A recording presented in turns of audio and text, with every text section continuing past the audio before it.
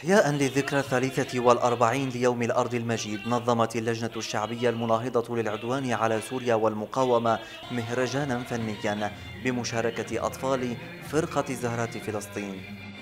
نحتفل اليوم ونحيي الذكرى 43 ليوم الأرض الخالد والذكرى الأولى لمسيرة العودة.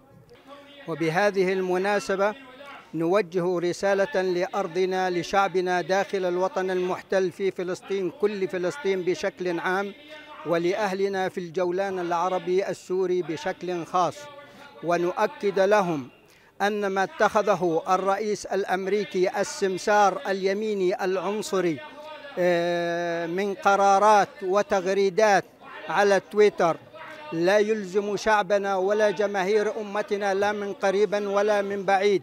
المهرجان الذي استضافه المركز الثقافي في منطقة الحسينية ومخيم الحسينية للاجئين الفلسطينيين تخلله عروض فنية لأطفال فرقة أزهار فلسطين ومشاركات شعرية تؤكد مناهضة الفلسطينيين والسوريين للقرارات التي تعتدي على سيادة الجولان السوري والقدس. من مخيم الشهداء في الحسينية نقول أننا نقف في خندق مع الجيش العربي السوري ومحور المقاومة في الدفاع عن قضايا الأمة العربية وتحرير الجولان وفلسطين الحبيبة.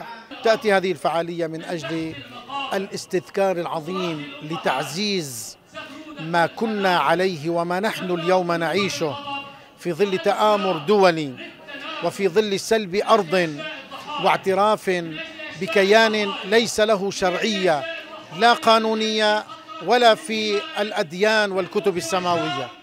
المشاركون ضمن الحفل وجهوا رسالة للشعب المحاصر إن كان في الجولان السوري أو فلسطين المحتلة. أن قرارات ترامب لن تحرمهم حقهم في أرضهم وستبقى القدس فلسطينية عربية. محمد طوالبي الغد ريف دمشق.